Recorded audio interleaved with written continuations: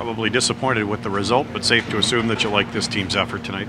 Great effort. Uh, you know, we played as hard as we could. I mean, uh, kept ending up in the penalty box. Um, didn't get a lot of power plays, but uh, um, five on five, we played as hard as we could. I mean, um, they have some you know their their best players are their hardest working players, and and uh, you know it's a heck of a goal by uh, to start the game, and then eventually enough power plays they finally score.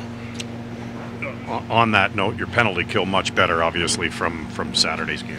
Penalty kill was great. That's a really good power play, and, and we had a lot of guys desperate and blocking shots.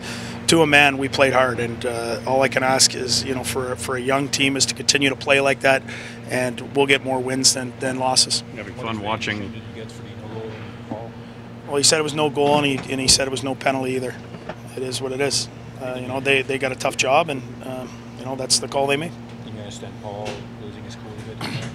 For sure. I mean, he's a guy. Uh, you know, Nick Paul's played really hard for us. He's a guy that's been up and down through the minors, and um, you know, you work hard, and and you know, he's living and dying by.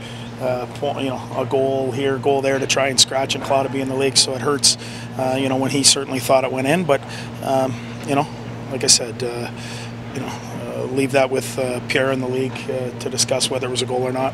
Sometimes when you're in a losing streak, you can see the team starting to come out of it before you get the results. Are you seeing perhaps that here?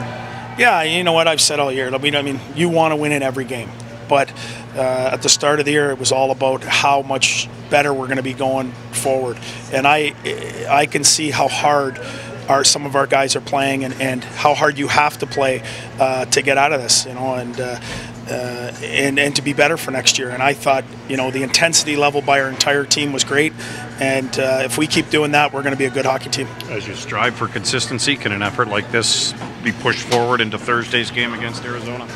Yeah, for sure. I, I think, to be honest, if you go back maybe 10 games, uh, you might have one game where I didn't like, like our effort. We play hard most nights. Tonight we played harder than even usual. At the end of the day, it's and how can we continue to get better as a team, continue to break out, continue uh, to get young guys playing better. Uh, you know, and, and, I think we're well on our way to do that. Homestand's great, but as long as we keep playing hard, I'm happy with that. Do we hope going? Yeah, he battled. He, he played like our team played tonight and that was hard, and he played hard, and he gave us every chance to win. Unfortunately, Gruby was really good down there, um, but it is what it is, and uh, you know, like I said, I'm happy with our group.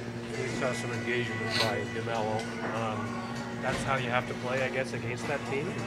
Yeah, you got it. You can't give them a ton of room. If you do, they're just too good. And um, you know, I thought he was good. I thought Zaitsev was exceptional. I mean, he had a lot of shifts against MacKinnon. There's very few people that can handle his speed, and Zaitsev's feet are good enough to, to be able to handle him. And I thought he did a heck of a job.